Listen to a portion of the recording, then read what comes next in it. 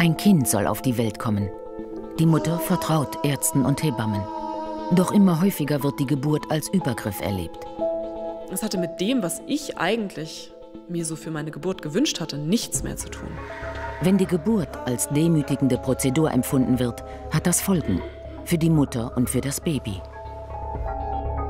Der Kontakt zu meinem Kind brach innerlich für mich ab. Also ich hatte das Gefühl, ich ertrinke, ich ersticke, ich werde von der Flutwelle erschlagen. Ich war eigentlich nur noch in Dunkelheit.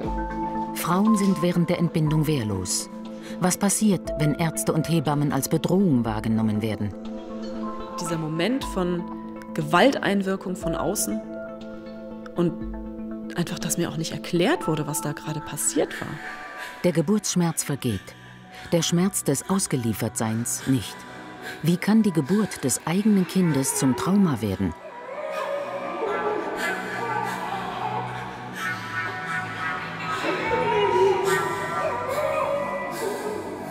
Aus mir als Gefäß musste ein Kind rausgeholt werden, egal wie.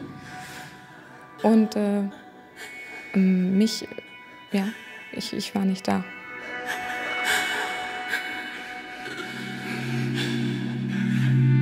Fast keine Entbindung läuft heute mehr ohne Eingriffe ab.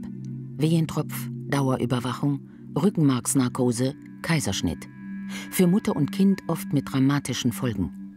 Experten sprechen von einer Interventionskaskade. Die Weltgesundheitsorganisation postuliert gravierende Verletzungen der Menschenrechte in geburtshilflichen Einrichtungen. Dass Gewalt immer so dargestellt wird, als wäre das eine subjektive Empfindlichkeit der Frau. Und ich glaube, man kann da ganz klar sagen, das ist es nicht. Die 40-jährige Ärztin Katrin Domke war kerngesund, als sie in den Kreissaal kam. Ein Jahr später ist sie arbeitsunfähig aufgrund traumatischer Erlebnisse während der Geburt ihres Sohnes. Sie beschuldigt die Klinik der Körperverletzung, der Vergewaltigung, invasiver Eingriffe und der Verabreichung von Medikamenten ohne ihre Zustimmung. Ärzte und Hebammen genießen hohes Ansehen. Sie anzugreifen ist ein unangetastetes Tabu. Offizielle Statistiken über Gewalterfahrungen von Frauen während der Entbindung fehlen. Die Organisation Right of Childbirth schätzt, fast die Hälfte aller Frauen sind weltweit betroffen. Wir sind in einer riesen Grauzone, wenn wir im Rahmen der Geburtshilfe von Gewalt sprechen. Wenn jemand gegen seinen Willen, ohne Aufklärung, ohne Einverständnis, äh, körperlich oder seelisch verletzt wird, ist das für mich Gewalt. Fruchtblasen werden eröffnet, ohne den Frauen zu sagen. Danach folgt vielleicht ein Wehensturm. Wehentröpfe werden angehangen, damit die Geburt schneller geht.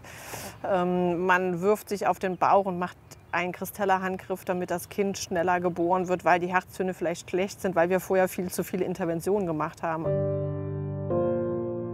Vor der Geburt ihres Sohnes arbeitete Katrin Dumke als plastische Chirurgin und lebte in einer glücklichen Partnerschaft. Als sie schwanger wird, entscheidet sie sich für eine kliniküberwachte Geburt in einem Krankenhaus, welches damit wirbt, möglichst ohne Interventionen vorzugehen. Sie bringt zwar ein gesundes Kind zur Welt, doch diese erste Geburt erlebt sie als so verstörend, dass sie seitdem kein Krankenhaus mehr betreten und damit nicht mehr als Chirurgin im OP arbeiten kann. 19. Februar 2016. Katrin Domke fährt mit ihrem Partner ins Krankenhaus. Im Geburtsbericht steht Vorstellung im Kreissaalbereich um 2.15 Uhr. Katrin hat eine Liste dabei darüber, wie sie sich die Geburt vorstellt.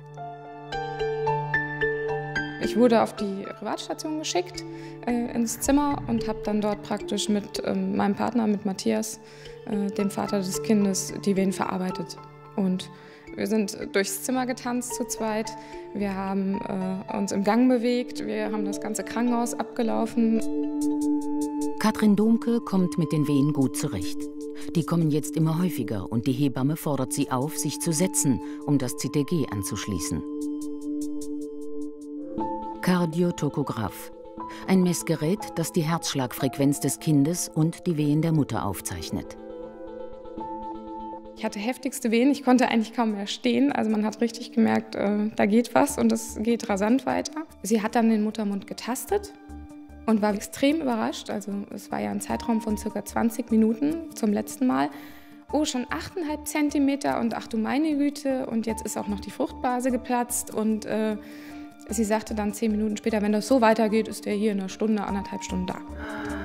Katrins Wehen kommen in immer kürzeren Abständen. Sie wird erneut ans CTG angeschlossen und muss liegen. Die Wehen sind so schwer auszuhalten. Sie bittet die Hebamme um Buscopan, das ist ein sehr leichtes Schmerzmittel. Da kannte ich die Wirkung von morgens. Da wusste ich, das nimmt mir die Schmerzen nicht, aber es nimmt mal so diese Spitzen, die im, im Liegen sehr unangenehm sind.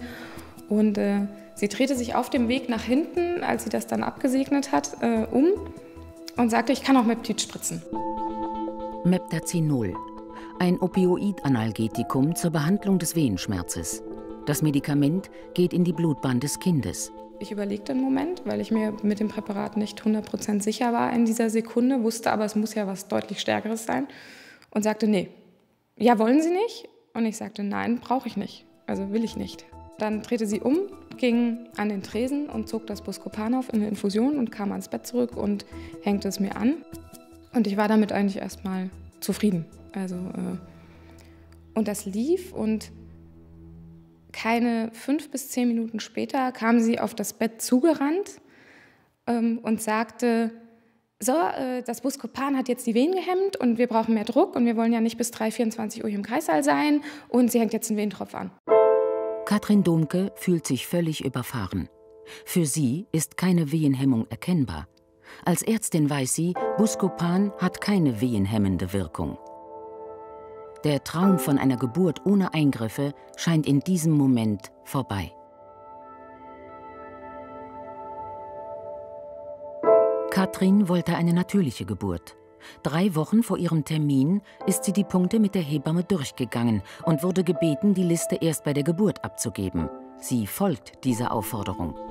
Sie wünscht keine intensive Dauerüberwachung, eine Rückenmarksnarkose nur bei absolutem Bedarf und Rücksprache bezüglich aller medikamentösen Maßnahmen. Wir sprechen ja eigentlich über Geburtshilfe und Geburtshilfe heißt ja, die Frau ist selbstbestimmt und kann sich in ihrem äh, Körper und ihre Umgebung wohlfühlen. Jetzt sind wir aber in der Klinik irgendwie übergegangen, so ganz schleichend, ohne dass sich großartig jemand beschwert hat, zu Geburtsmedizin. Geburtsmedizin bedeutet, wir haben zwar alle Geräte schön versteckt hinter tollen Schränken und mit äh, viel Farbe versteckt, aber sie muss trotzdem eventuell am Dauer-CTG liegen, also an Kabeln. Sie hat eventuell trotzdem einen Wehentropf und ist gefesselt. Ähm, das sind Dinge, die wir uns hinterfragen müssen, ob sie sinnvoll für die Geburt sind. Ludwig Janus ist Psychotherapeut und Experte für pränatale Psychologie. Seine These, die Geburt ist eine prägende Grunderfahrung, immens wichtig für die Bindung von Mutter und Kind. Deshalb warnt er seit Jahren vor den Folgen der technisierten Geburt. Ich glaube, dass die Öffentlichkeit und auch die Ärzte über die seelische und Dimension von Schwangerschaft und Geburt und die Bedeutsamkeit von Beziehungen nicht so orientiert sind, wie sie es sein sollten. Und dass darum die Geburtshilfe gerade durch die Erfolge der Medizin sehr technisch und instrumentell orientiert war und auf die Beziehungsbedürfnisse der Frau und aber auch des, Frau, des Kindes nicht Rücksicht genommen haben. Und dass darum diese medizinisch-technischen Maßnahmen wie Gewalt erlebt werden. Die Weltgesundheitsorganisation empfiehlt, Geburten sollen nicht beschleunigt werden. Man müsse Frauen mit einbeziehen. Sie haben das Recht auf eine würdevolle und wertschätzende Geburt. Laut Hebammenverband laufen nur noch 10 Prozent aller Geburten in Deutschland ohne Interventionen ab. Die WHO kritisiert diesen Trend und formuliert im Februar 2018 56 neue Richtlinien. Bemängelt wird der Einsatz von Wehenmitteln zur Beschleunigung der Geburt. Außerdem der zu häufige und kontinuierliche Einsatz des CTG. Der Wehenschreiber werde oft falsch gedeutet und Geburtseinleitungen und operative Entbindungen nehmen dadurch zu. Das Schlimme an dem CTG ist, dass es uns erstens überhaupt nur in den Geburtsphasen hilfreich ist und extrem viele Frauen aber ohne Risiken relativ früh vor der Geburt schon CTG-Kontrollen bekommen und dadurch Pathologie entsteht. Man macht der Frau Angst, man interveniert eventuell, obwohl eigentlich keine Basis dafür da ist. Wissenschaftlich völlig eindeutig, wird trotzdem ganz viel gemacht. Vielleicht wird das gar nicht reflektiert, wie, wie gewisse Sachen bei Frauen ankommen. Vielleicht ist das auch, spielt das auch einfach keine Rolle. Man entbindet die Frau jetzt und man holt jetzt dieses Kind. Auch die damals 25-jährige Christine Eigenbrot schildert traumatische Erlebnisse im Kreissaal. Sie beschreibt brutale Penetrationen, grobe Eröffnung der Fruchtblase, das Auslösen von Todesangst durch stundenlanges Alleingelassensein bei starken Wehen, Praktiken, die sie öffentlich anprangert. Es hat lange gedauert, bis ich wirklich verstanden habe, was mir da eigentlich passiert ist. Ich meine, ich wusste natürlich, dass die Geburt schlimm war und dass da irgendwas, irgendwas wirklich Schlimmes passiert ist. Aber es hat lange gedauert, bis ich es wirklich so im Ganzen aussprechen konnte und auch im Ganzen reflektieren konnte. Christines Kind hat sich in ihrem Becken verkeilt. Die Ärzte ordnen Kaiserschnitt an, aber alle Hebammen sind ausgelastet. Man lässt Christine Eigenbrot zwei Stunden alleine im Zimmer warten. Sie hat Wehen im Minutentakt, ist an den CTG-Gurt gefesselt und gezwungen, auf dem Rücken auszuhalten. Eine Stunde wartet sie vergeblich auf Wehenhämmer, auf Schmerzmittel. Nach der Geburt hätte sie sich gefühlt wie abgetrennt von der Welt. Sie beschreibt die Entbindung als traumatisch und beschuldigt die Klinik, daran ursächlich beteiligt zu sein. Strafanzeige gegen das Krankenhaus stellt sie nicht.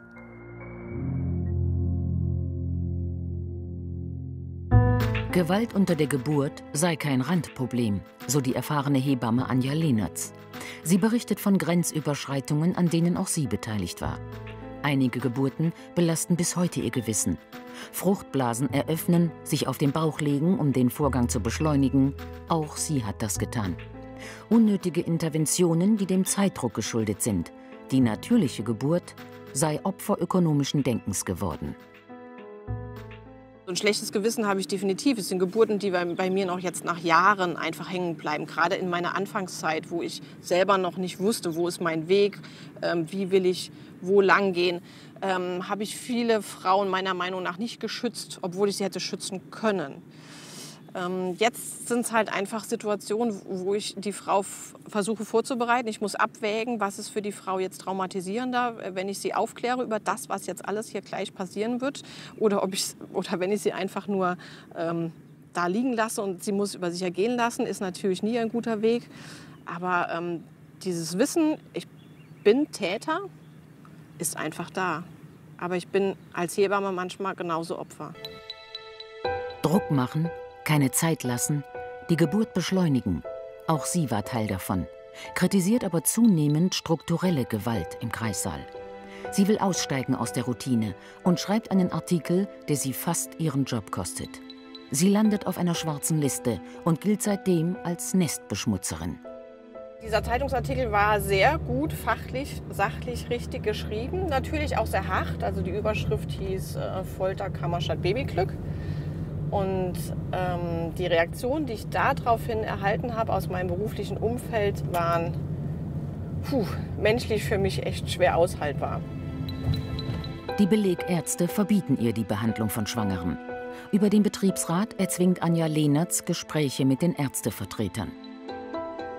Also die sofortige Reaktion war ähm, persönlich also denunzieren, das wurde einfach gesagt, das ist eine Selbstdarstellung, die ich habe. Ähm, das äh, ist ja alles gar nicht wahr, das sind einzelne Frauen. Dann kam irgendwann so die Wut, wie können Sie behaupten, dass ich Folterknecht bin? Ähm, bis hin einfach zu beruflichen Einschränkungen, dass ganz klar gesagt wurde, meine Frauen betreuen Sie als Hebamme nicht mehr. Und mit dieser Reaktion habe ich überhaupt nicht gerechnet. Entlassen kann man sie aber nicht. Die Kreissäle sind voll. Hebammen arbeiten am Limit. Freiberuflich und außerhalb des Krankenhauses bemüht sich Anja Lehnertz um Aufklärung.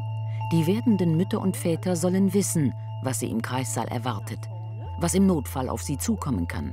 Vorbereitet sein statt Schönmalerei. Ihr klingelt und erwartet, ich komme, wir kriegen unser Kind und jetzt kümmert sich alles um uns, müsst ihr leider wirklich ad acta legen. Wenn ihr also mit euren Frauen in die Klinik kommt, kann es sein, dass da die Hölle los ist. Kann halt sein, dass ihr im Kreis halt ganz lange mit eurer wehenden Frau alleine seid. Auch das ist heutzutage normal, weil wir eben nach den fünf anderen Frauen auch noch gucken müssen. Das ist mir wirklich ganz wichtig zu sagen, weil die Geburtshilfe nicht mehr die ist, die sie vor Jahren noch war. Und wir entwickeln uns in eine ganz ungute Richtung gerade für euch werdenden Eltern. Es gibt immer wieder Eigentlich seien Hebammen für eine 1 zu 1 Betreuung ausgebildet worden. Im Moment betreue eine Hebamme manchmal sogar bis zu sechs Frauen. Die Kliniken seien nicht bereit aufzuklären. Stattdessen gäbe es nette Infoabende, die die wahre Situation verschleiern würden. Die Infoabende in den Kliniken ist natürlich ganz klar eine Marketingveranstaltung. Also da wird ja keiner sagen, ähm, wir, haben, wir sind überbelastet, wir haben keine Zeit für Sie, ähm, es gibt kein Familienzimmer. Ähm, natürlich präsentieren wir uns gut, denn wir müssen um jede Geburt auf der anderen Seite kämpfen. Infoabend im St. Joseph Krankenhaus Berlin. Mit 4000 Geburten jährlich eine der geburtenstärksten Kliniken Deutschlands. Klinikleiter Michael Abudaken ist einer der wenigen Geburtsmediziner, der einräumt, die Branche stecke in der Krise und ein weltweites Umdenken sei unausweichlich. Das Publikum bleibt auch hier zunächst von dieser Tatsache verschont. Es vertraut auf die Selbstverständlichkeit kompetenter Behandlung im Kreissaal. Zum ersten Mal bei so einer Veranstaltung und es sind wirklich nur die Basics, die mich interessieren. Also mal ein bisschen die Atmosphäre erkennen, äh, kennenlernen und reinschnuppern. Über mögliche Gewalt wird an diesem Abend nicht gesprochen. Niemand will diese Übergriffe, die in Zeiten von Hebammenmangel aber zunehmen. Und der hat sich herumgesprochen. Was er damit anfangen soll, Väter zu werden. Ich glaube, damit kommt keine Frau klar. Und gerade beim ersten Kind, wenn alles neu ist und man überhaupt noch gar keine Erfahrung hat, kann das schon sehr schwierig sein, wenn man dann eben nicht rund um die Uhr betreut wird. Hebammenmangel sei ein Problem für alle Kliniken, so Abu Daken. Entscheidend für den Umgang mit Gebärenden aber seien auch einstudierte Abläufe und der Einsatz von Technik im Kreissaal. Ärzte müssten kritischer werden, mehr abwägen darüber, wo Überwachung und Intervention wirklich sinnvoll sind. Ich glaube schon, dass uns äh, bewusster und immer bewusster wird, wie in der Geburtshilfe es ganz wesentlich ist, dass Personal Zeit hat, dass es eine Medizin ist, die mit Zeit nehmen was zu tun hat. Und dass da die Ökonomisierungen, die eben mit dem DRG-System zusammenhängen, einfach keine gute Abbildung darstellen. DRG, das ist das pauschalisierte Abrechnungsverfahren. Ein fester Satz für eine bestimmte Diagnose. Festpreis statt Bezahlung des eigentlichen Aufwands der Klinik. Eine durchschnittliche Geburt, ähm, so beim ersten Kind, sagt man zwischen 12 und 15 Stunden. Und da fängt schon so ein bisschen die Krux an, denn der DRG-Punkt, also die Abrechnungspauschale für die Geburt, ähm, besagt genau fünf Stunden plus zwei Stunden Nachbereitung. Also eigentlich ist in jeder Geburt ein Minus für das Krankenhaus schon inklusive. Geburtshilfe ist ein Verlustgeschäft. Eine normale Geburt zu begleiten bringt dem Krankenhaus, je nach Bundesland, ca. 1700 Euro. Eine Blinddarmentfernung, die in aller Regel in einer Stunde gemacht ist, um die 1900 Euro. Der eigentliche Aufwand bleibt finanziell unberücksichtigt. Der größte Fehler im System sei, so Alexandra Bruns von Geburt e.V., dass in der Geburtshilfe nur die aktiven Leistungen bezahlt werden. Die beruhigende Begleitung einer erfahrenen Hebamme aber nicht, denn im System der Fallpauschalen ist die eine Minusrechnung. So trifft der Faktor der Unterfinanzierung auf den Faktor Zeit mit schwerwiegenden Folgen. Dieser Faktor Zeit, jetzt habe ich mit mal eine Hebamme, die vier oder fünf Frauen unter der Geburt betreut. Äh, mit der Dokumentation, die sie zu leisten hat, sind es vielleicht noch irgendwie sieben bis zehn Minuten in einer Stunde, die sie pro Frau Zeit hat, diese zu betreuen. Und dann kommt es einfach dazu, äh, dass hier ein, ein, ein Mangel herrscht. Und dann kommt es dadurch eben auch zu Gewalt. Januar 2016. Katrin Domke ist laut Geburtsbericht nun circa eine Stunde und 15 Minuten im Kreissaal. Sie hat starke Wehen und die Kontrolle über die Medikamentenangebote der Hebamme verloren. Buscopan hat keine wehenhemmende Wirkung, weiß Katrin als Ärztin. Trotzdem habe die Hebamme das behauptet und deshalb den Wehentropf angehängt. Sie ging dann nach hinten und machte den Perfusor fertig mit der Lösung und kam ans Bett zurück. Und ich hatte da immer noch nicht Zeit, mich zu sortieren, weil es doch relativ schnell war. Ähm, und irgendwann fragte ich sie dann, ja, ist das Oxytocin? Oxytocin, Wehentropf, der bei Wehenschwäche zum Einsatz kommt, um die Geburt voranzutreiben. Es gibt ein paar Untersuchungen, die zeigen, dass wenn Frauen längerfristig unter der Geburt hochdosiert dieses synthetische Oxytocin bekommen haben, dass die Kinder später Aufmerksamkeitsstörungen haben. Äh, üblicherweise, wenn das Kind nach der Geburt zur Mutter auf den Bauch kuscheln kommt, nimmt das halt relativ schnell Blickkontakt auf. So kann man schon so eine gewisse Emotionalität auch feststellen. Und es kann gut sein, dass Oxytocin weil das das gleiche Hormon ja ist, was sozusagen die Emotionalität begleitet, wenn das vorher hochdosiert gegeben wurde, da eben entsprechende Veränderungen bewirkt. Anhängen des Wehentropfes um 16.15 Uhr. So dokumentiert im Geburtsbericht. Ich machte den Mund auf und wollte da eigentlich schon sagen, Moment mal, also hatte ich ja auch in der Vorbesprechung gesagt, äh, Einleitung kam für mich schon nicht in Frage medikamentös und ich habe Wehen. Also, äh, und im Prinzip wirkte sie mich ab, während sie es anstellte und sagte, äh, der Oberarzt hat es telefonisch abgesegnet, wir fangen mit der geringsten Dosis an. Dadurch, dass alle Frauen, die den Kreißsaal betreten, diesen Zugang bekommen, ist jederzeit völlig willkürlich quasi dann möglich, dem Personal zu sagen, ach, jetzt sind wir der Meinung, wir müssen was tun und dann wird der Tropf rangehangen. Also da ist die Routine fördernd, was spätere Übergriffigkeit angeben kann. Jetzt, ich behaupte nicht, dass jede Frau, die einen Wehentropf bekommt, Gewalt erfährt, aber dass eben die, dieses Nicht-Akzeptieren, dass der andere auf Augenhöhe mitbekommt, das zum Teil Unklare der Indikationsstellung, das nicht überprüfte, weil man es tradiert jahrzehntelang macht, das ist, was ich in der Geburtshilfe gerne ändern möchte. Die Dauer einer vaginalen Geburt ist ungewiss und deshalb nicht kalkulierbar. Trotzdem wird sie pauschal entlohnt. Die Folge? Je schneller das Kind kommt, desto weniger muss die Klinik draufzahlen. Was jetzt passiert ist, ähm, dass die Kliniken sich diese Kalkulation genau nehmen und dann sehen sie, an welchem Ort welche Kraft für welchen Fall wie viel Geld äh, im Durchschnitt äh, gekostet hat. Und da versucht man natürlich immer drunter zu bleiben, weil ansonsten macht man Verluste. Man kriegt ja nicht mehr bezahlt als das. Und wenn man jetzt äh, noch ein bisschen Geld da verdienen muss, weil man damit andere Sachen investieren will oder weil man vielleicht auch Gewinne machen will, die Träger gibt es ja auch, die gerne Gewinne machen wollen, ähm, dann muss ich da immer konsequent unter diesen kalkulierenden Durchschnitt drunter bleiben. Und das, genau das bestimmt mein Personalschlüssel. Für Hebammen gibt es keinen verbindlichen Personalschlüssel. Wie viele Frauen sie gleichzeitig betreuen dürfen, ist nicht definiert, trotz Babyboom.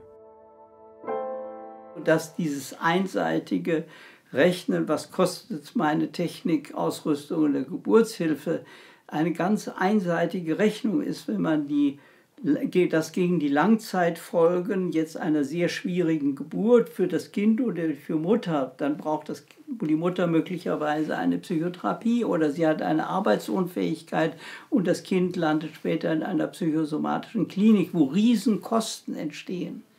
Also insofern ist diese Art Kost Klinikskostenberechnung ganz einseitig und verderblich eigentlich.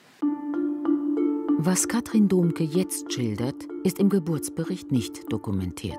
Sie ließ mich dann da liegen und ging nach hinten. Das sah ich so aus dem Augenwinkel und nahm eine Ampulle aus dem Schrank, äh, brach oder drehte sie auf, äh, zog eine Spritze auf, kam mit den Worten vor sich hin murmelnd, ich gebe das jetzt doch, relativ leise. Also man konnte es nur hören, wenn man das hören wollte. Katrin vermutet, dass es sich dabei um Meptid handelte, eine opiatähnliche Substanz, die sie vorher ausdrücklich abgelehnt hatte. Packte meinen Arm, machte den Zugang auf, den ich liegen hatte, und setzte die Spritze auf, drückte drei Milliliter etwa rein und sagte, das macht es alles etwas weicher, ich äh, gebe das auch ganz langsam, ich spritze das auch ganz langsam. Und das war für mich die nächste Attacke. Man ist wirklich volltrunken, also man steht ja unter Opiatwirkung. Äh, Katrin glaubt, in diesem Moment Opfer einer bewussten Geburtsbeschleunigung geworden zu sein. In meinen Augen wusste sie sehr klar, der Venentropf ist nicht wirklich indiziert, weil Venen da sind. Der ist nur zur Beschleunigung gedacht. Es gab keinen medizinischen Grund dafür. Wobei ich mich heute noch frage, ich frage mich das tatsächlich, äh, ähm, äh, warum bei 9 cm Muttermund und der Aussage von dieser Person vorher, er sei in einer, anderthalb Stunden da, ähm, warum das dann notwendig war. Also warum die Stunde zu wenig war. Es waren an diesem Tag wohl sechs Geburten und ich war die schnellste. Wir bitten die Klinik um Stellungnahme zu den einzelnen Anschuldigungen Katrin Domkes und erhalten eine Antwort. Zu einzelnen Patientenbehandlungen geben wir Rundfunk und Fernsehen gegenüber keine Stellungnahme ab. Jede Mutter will, dass ihr Kind gesund auf die Welt kommt. Aber Mitbestimmung darüber, wie das geschieht, ist für Katrin Dumke ein Grundrecht. Wenn eine Frau sich nicht in ihrem eigenen Autonomie befindet, also selbstbestimmt mit ihrem Kind gemeinsam entscheidet, was passiert wann, dann muss man jedes Mal sehr genau erklären, und ich finde, das ist wirklich eine Verpflichtung von uns, warum wir intervenieren. Das ist ja in Deutschland sehr klar geregelt, dass Sie als Arzt, Ärztin eigentlich überhaupt nicht handeln dürfen, nicht eigentlich überhaupt nicht, sondern überhaupt nicht handeln dürfen, wenn der andere nicht einverstanden ist. Es sei denn, sie müssen tatsächlich eine akute Gefährdung für Mutter oder Kind postulieren. Wir, so war damals meine Ausbildung, sind so groß geworden, je mehr du tust, je mehr du der Frau die Beine an die Ohren drückst, je mehr du den Befehl gibst, drück auf die Brust, je mehr du sie anbrüllst und sagst, drücken, drücken, drücken, drücken, umso besser wird dieses Kind geboren. Mit, also mit diesem Gefühl wird man losgelassen auf die Menschheit. Ähm, und dann macht man es so. Also unwissend. Also ich, ich bin so groß geworden, das ist so. Während Katrin Domke beschreibt, sie hätte Medikamente ohne ihren ausdrücklichen Willen bekommen, lautet Christine Eigenbrots Vorwurf, unter starken Wehen alleingelassen worden zu sein vorbereitet für den Kaiserschnitt. Dann lag ich da auf dem Bett mit dem CTG umgeschnallt, Haube auf, bereit für ein OP. Und dann ging eigentlich so der schlimmste Teil erst los, weil circa zehn Minuten später kam die Hebamme rein und hat gesagt, ja, jetzt ist hier gerade noch parallel eine andere Geburt reingekommen, du musst jetzt leider warten. Ich lag da und habe gemerkt, wie ich langsam so wegtrifft. Ich, ich konnte einfach nicht mehr. Ich war bis zu dem Zeitpunkt lag ich schon eine Stunde mit einminütigen Wehen auf dem Rücken. In der Nacht wurden sechs Kinder geboren. Und ich stand dann auf dem Abstellgleis. Panik. Psychische Notfallreaktion, wie man sie auch von Vergewaltigungsopfern kennt. Ärzte und Hebammen werden in solchen Fällen oft als Täter angesehen. Als übergriffig wird erlebt, was ohne Einverständnis geschieht. Erzwungene Muttermunduntersuchungen dann oft als Vergewaltigung empfunden. Die Betroffenen schweigen. Aus Angst und Scham fürchten ein Stell dich nicht so an, wie bei MeToo. Die MeToo-Debatte ist eine Folge einer Frauenemanzipation, die wir seit 200 Jahren haben, wo Frauen für ihre Rechte gekämpft haben. Und die sind jetzt so weit anerkannt, dass Frauen auch über so ganz persönliche Dinge, wie sie sich von Männern behandelt fühlen, sprechen. Und das ist, äh, gilt jetzt auch für die, für die Geburtssituation, dass Frauen gerade durch die Emanzipationsbewegung die Kraft und den Mut haben, das, was für sie schwierig ist oder auch verletzend ist in der Geburtssituation, wirklich zu benennen. Wir waren weit vor MeToo da. Wir sind nur nicht gehört worden. Und ähm, das ist, glaube ich, wichtig zu sehen.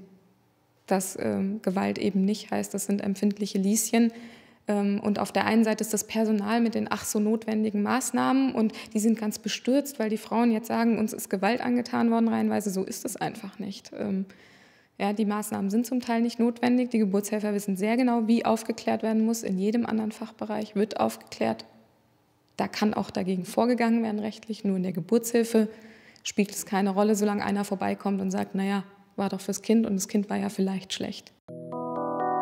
Die Diplompsychologin Ulrike Haufe arbeitet an neuen nationalen Gesundheitszielen im Rahmen des Arbeitskreises Frauengesundheit. Seit Jahren analysiert sie den Bereich der Geburtshilfe. Frauen würden in Abläufe gezwungen, Mutter und Kind zu Objekten degradiert, die nach Schema F funktionieren sollen.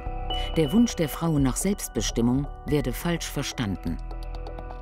Der Begriff Selbstbestimmung war die Abkehr die Abwendung, die Gegenwehr gegen Fremdbestimmung. Wenn die so gemeint ist, dann passt sie richtig in der Geburtshilfe. Wenn Frauen sich wehren, dass sie fremdbestimmt werden. Ist leider missbräuchlich in der Zwischenzeit angewendet im Sinne eines Bauchladenprinzips. Selbstbestimmung ist Frau, ich biete dir alles, was du hier haben kannst, auch den Wunschkaiserschnitt, was auch immer du willst. Und du kannst in diesen Bauchladen wie ein Kaufhaus zugreifen. Und so wird im System Medizin Selbstbestimmung begriffen. Und diese Art von Diskussion darüber, den Begriff Selbstbestimmung, kann man kaum mit Fachleuten führen, weil sie ihn nicht mehr haben. Moin, hallo, wir sammeln Unterschriften wegen des Hebammenmangels. Äh, haben Sie davon gehört? Mascha Grieschardt ist Aktivistin bei Motherhood e.V., einer bundesweiten Elterninitiative. Sie sammelt Unterschriften, um eine Petition in den Bundestag einzubringen. Ziel? Eine Reform der Geburtshilfe. Wenn äh, Überforderung da ist und dann dadurch Gewalt entsteht, das kenne ich aus der Ja. Arbeit auch. Man muss mal gucken, dass das dann. Der eben, Personalmangel. Äh, ja, genau, das alte Thema in allen sozialen Bereichen. Auch Mascha Grieschardt beschreibt die Geburt ihrer Tochter als das schlimmste Erlebnis ihres Lebens. Seitdem kämpft sie für eine respektvolle Behandlung in den Geburtsstationen. Mir wurde geraten, vom Patientenvertreter doch Selbsthilfegruppen zu gründen. Ja, letztendlich haben wir das mit der Roses Revolution gemacht und wir haben jetzt allein bei Facebook 10.000 Likes. Äh, Das ist vielleicht in manchen Augen nicht viel, aber es sind Frauen dabei, die fürchterliche Traumata mit sich rumtragen, aufgrund von vermeidbarer Verletzung. Roses Revolution. Einmal im Jahr legen Frauen wie Katrin Domke Rosen vor die Geburtsklinik, der sie Gewalt und Übergriffe vorwerfen. Eine Initiative, der sich seit ihrem Bestehen 2012 immer mehr Frauen anschließen. Katrin kämpft um die Kontrolle über ihren Körper. Sie fühlt sich benommen. Die Hebamme will wieder den Muttermund tasten. Ich hatte die Beine zusammengestellt, sie klappte sie auseinander, fing ohne Wehe an. Ich habe mich da schon entzogen und versucht auch Nein zu sagen, habe ich auch dann schon wieder gekonnt zu diesem Zeitpunkt. Sie brach dann ab, griff nach der Hand von Matthias, drückte mir die Beine auseinander, legte seine Hand auf die Innenseite von meinem linken Knie und drückte seine Hand mit meinem Bein nach unten, nach außen, äh, mit den Worten, jetzt mal hier ordentlich festhalten. Die Hebamme fährt fort. Katrin Domke beschreibt ein Gefühl des Herumfuhrwerkens in ihr. Der Partner wäre gezwungen worden mitzumachen und hätte es nicht geschafft, seine Frau davor zu beschützen. Eine Szene, die Katrin Domke als vergewaltigungsartig erlebt. Wenn gesagt wird auf meine Äußerung, dass ich mich vergewaltigt gefühlt habe, ähm, es täte derjenigen leid, äh, dass, so, dass die Frauen so empfinden würden, dann ist es für mich schon der nächste Schlag ins Gesicht. Weil wir empfinden das nicht, sondern eine Penetration, die handwerklich gegen den Willen ausgeführt wird, ist einer Vergewaltigung gleichzusetzen, egal in welchem Kontext. Und, oder zumindest Gewalt. Und das hat nichts mit Empfinden zu tun. Ich habe das nicht besser oder schlechter empfunden, sondern das ist eine Tatsache. Diese Muttermundsuntersuchungen sind, so, sind solche Routineuntersuchungen, dass gar nicht mehr hinterfragt wird, was, was tun wir den Frauen damit eigentlich an. Ich habe auch von vielen anderen Frauen gehört, die untersucht wurden, da war es gar nicht so schmerzhaft. Da waren die Hebammen einfach vorsichtiger. Aber es kommt viel zu oft vor, dass die Untersuchungen extrem schmerzhaft sind und es dann einfach so dargestellt wird, als sei das einfach so. Und es gehört mit dazu und wir machen das jetzt so. Du willst ja schließlich dein Kind bekommen. Wir konfrontieren auch die Geburtsklinik von Christine Eigenbrot mit den erhobenen Vorwürfen. Unter anderem mit der Anschuldigung, es habe herabwürdigende Kommentare der Hebamme und eine herablassende Kommunikation gegeben. Der Leiter der Klinik antwortet, ich kann mir ein solches Verhalten nicht vorstellen. Und auch die Hebammen weisen diese Vorwürfe zurück. Dieses von oben herab, wir machen jetzt mal dieses und jenes, kein Einverständnis einfordern, bevor man etwas tut. Dieses gesamte System, dass, jetzt, dass man jetzt entbunden wird, das, das klingt schon so passiv. Man, was habe ich, was, was, was spiele ich bei einer Entbindung für eine Rolle? So mehr den Fokus darauf, die Frau gebärt und wir helfen ihr dabei. Gewalt ist immer ein subjektiver Begriff und wir müssen ihn unterscheiden von dem als Rechtsbegriff. Und als subjektiver Begriff ist es, Frauen fühlen Gewalt Und wenn Sie es fühlen, ist es Ihre Wahrheit. Und da muss man überhaupt nicht dran rumdeuten. Wenn Sie also einen Akt an sich, also eine Tat, die Sie nicht einschätzen können, die für Sie eruptiv kommt, die für Sie auch aggressiv vielleicht daherkommt, wenn Sie die als solche wahrnehmen, es ist Gewalt, dann ist es so. Ich habe versucht, mit aller Macht die Beine zuzumachen. Ich habe mit Nein abgewehrt. Ich habe um mich geschlagen. Sie zog dann zurück, ließ mich würgend und nach Luft keuchend äh, auf der Seite äh, so halb liegen und sagte dann, ja, wenn das hier so nicht geht, dann brauchen wir jetzt hier eine PDA. Periduralanästhesie. Eine Methode zur Schmerzausschaltung. Dafür wird über einen Katheter ein Medikament ins Rückenmark gespritzt. Und hat den Anästhesisten angerufen und ich habe diese PDA, die ich ja nie wollte, äh, eigentlich gegen meinen Willen bekommen. Ich finde die PDA hervorragend, wenn eine Frau tatsächlich nicht mit der Situation zurechtkommt. Das sind viele Frauen. Ich finde sie schlecht, wenn sie gemacht wird, um Frauen quasi ruhig zu stellen. Also nach dem Motto, dann melde sie sich häufiger oder wir haben keine Zeit für sie oder wie auch immer. Dass man dann sagt, machen Sie doch eine PDA, dann kann die quasi vor sich hinschlafen, wie der Muttermund aufgeht. Die WHO postuliert, um Geringschätzung und Misshandlung zu erforschen, brauche es die Unterstützung der Regierungen und Belege über die Wirksamkeit von Interventionen. Laut Institut für Transparenz im Gesundheitswesen erhielt jede vierte Frau 2016 eine Rückenmarksnarkose. Bei jeder fünften wurde die Geburt medikamentös eingeleitet. Ebenfalls jede vierte bekam ein wehensteigerndes Mittel. Zu viel Intervention, sagen die Aktivistinnen Claudia Watzel und Denise Wilk. Gewalt gehöre zum Alltag in den Geburtsstationen. Die politisch Verantwortlichen müssten sich dem stellen. Die Kliniken hätten die Pflicht, die Frauen aufzuklären. Auf politischer Ebene, finde ich, bräuchte es eine Anlaufstelle für die betroffenen Frauen. Also die, ähm, wo sie eben das rückmelden können und wo sich eben keine Klinik mehr darauf zurückziehen kann, zu sagen, aber wenn wir vor Entlassungen äh, Zufriedenheitsfragebogen rausgeben, dann sind ja alle irgendwie zufrieden. Wir fragen nach, wollen wissen, wie man im Gesundheitsministerium denkt über die von Verbänden zunehmend kritisierten Missstände in den Kreissälen über die Qualität der geburtshilflichen Versorgung und den Hebammenmangel. Und bekommen eine Antwort. Der Bundesgesundheitsminister Jens Spahn könne leider derzeit kein Interview geben. Zu unserer Anfrage erklärt man weiter, die Finanzierung der Geburtshilfe erfolge durch Fallpauschalen, die kontinuierlich neu kalkuliert werden. Lieber Herr Minister Spahn, also wirklich zu behaupten, dass die Fallpauschalen gut kalkuliert sind und weiterentwickelt werden, das stimmt überhaupt nicht. Es gab eine Kalkulationsänderung 2006 also da werden die Bedingungen, das kann man sich so vorstellen wie Punkt- und Strichrechnung, kennt jeder von uns. Da wurden die Bedingungen verändert in den, in den Kalkulationsbedingungen und dann ähm, rauschte die Hebammenvergütung im Kreissaal über 100 Euro ab. Und da kann mir keiner erzählen, dass das aus Versehen passiert ist. Ich habe einen Änderungsvorschlag gemacht und habe gesagt, nehmen wir das doch wieder zurück. Da wurde mir gesagt, nein, es hat gar keine Auswirkungen, aber wir nehmen es auch nicht wieder zurück. Ähm, man hat die Geburtshilfe wirklich manipuliert. Man, hier hat jemand regelrecht manipuliert. Das ist nicht aus Versehen passiert. Und es läuft seit Jahren ohne eine einzige Reform. Professor Abu Daken vom St. Joseph Krankenhaus arbeitet derzeit gemeinsam mit anderen Fachgesellschaften an einem neuen nationalen Gesundheitsziel. Neue Leitlinien müssen her, mehr Studien, mehr wissenschaftliche Evidenz.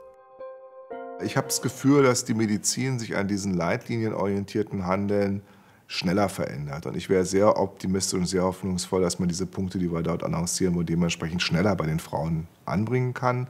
Zumal ich ganz sicher bin, dass die Hebammen an vielen Punkten aufatmen werden und sagen, aber jetzt steht es in den Leitlinien und die werden schon dafür sorgen, dass in den Kliniken dann auch klar gemacht wird, nee, Entschuldigung, bitte so handeln wir heute aber nicht mehr, wir möchten das und das machen. Das Tolle an dem nationalen Gesundheitsziel ist ja, dass es nicht nur ein Text ist, sondern das ist ein Pflichtenheft quasi. Also wo für alle Abläufe bei Schwangerschaft, Geburt und dem ersten Lebensjahr des Kindes genau aufgezeichnet ist, welche Handlungsnotwendigkeiten haben wir und wer muss das tun. Kern der Leitlinien ist es, eine interventionsarme Geburt zu fördern. die WHO-Empfehlungen einzuhalten und in einen normal verlaufenden Geburtsprozess nur mit triftigem Grund einzugreifen. Für viele Frauen werden die neuen Leitlinien zu spät kommen. Ebenso für die Hebammen, die heute unter großem Zeitdruck arbeiten müssen. Eine dramatische Situation in der Geburtshilfe mit weitreichenden Konsequenzen für alle Beteiligten. Als Katrin Domkes Baby da ist, hat sie kein Gefühl der Bindung zu ihm. Der Geburtsbericht hält fest, komplikationslose Spontangeburt eines männlichen Neugeborenen.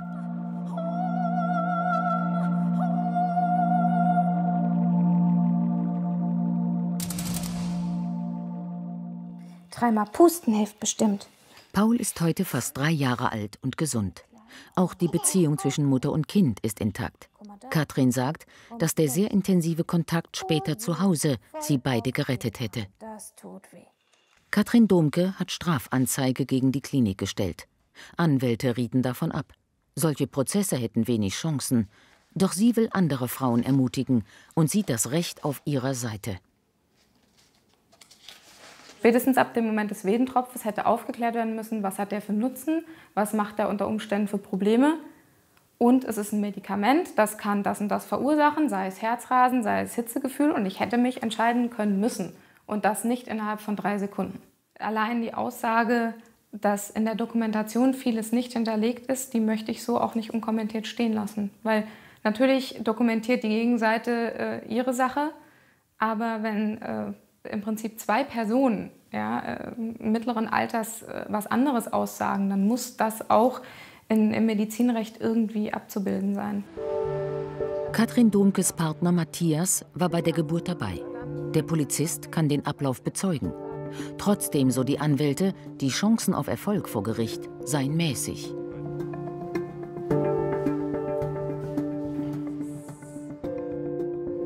Ich habe mich entschieden, Strafanzeige zu stellen. Das ja. habe ich jetzt auch gemacht, also auch mit allen Konsequenzen. Ich habe, glaube ich, mich gut informiert und wollte aber parallel auch einfach gucken, ob man zivilrechtlich was einklagen kann. Ich habe kein Urteil gefunden, in dem schon mal ein vergleichbarer Fall ausgeurteilt mhm. worden ist. Aber man könnte hier schon auch zivilrechtlich weiter vorgehen. Erstmal außergerichtlich, indem man einen Aufklärungsfehler geltend macht. Mhm. Es ist so, sie sind, haben nicht eingewilligt und dadurch können sie in ihrem Selbstbestimmungsrecht verletzt worden sein, das auch grundgesetzlich verankert ist.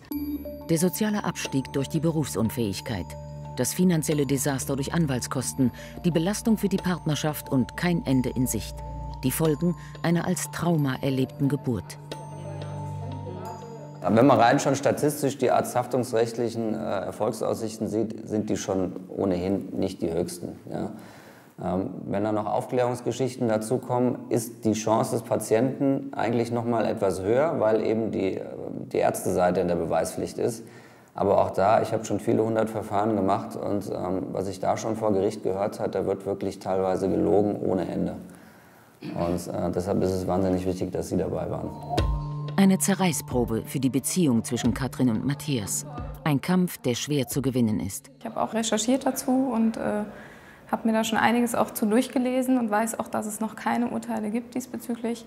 Und von daher bin ich aktuell, glaube ich, sind wir auf einem guten Weg und wir werden das probieren und ähm, ich werde das so nicht stehen lassen.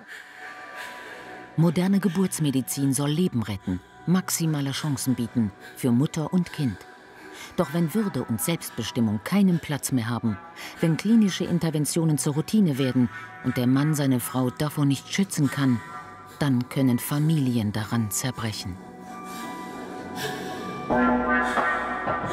Es hat uns als Beziehung, Gott sei Dank nicht als Eltern, aber als Beziehung äh, eines Paares hat es uns kaputt gemacht.